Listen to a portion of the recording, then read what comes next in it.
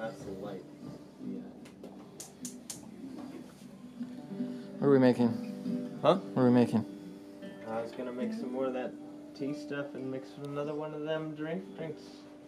You know how it goes? Lemonade? That's right. Lemonade. Lemonade. Dude, I saw Boyhood yesterday. Oh god, I love that movie. Blew my mind. Yes. So fucking good. I took a notepad with me. I took notes. nice. I'm gonna write a blog post on it. Oh, you should come on our podcast and we should oh, yeah. about it. Oh yeah, I'm down. Uh, tomorrow night. Oh, I fucking love this song. Yeah, I'm down.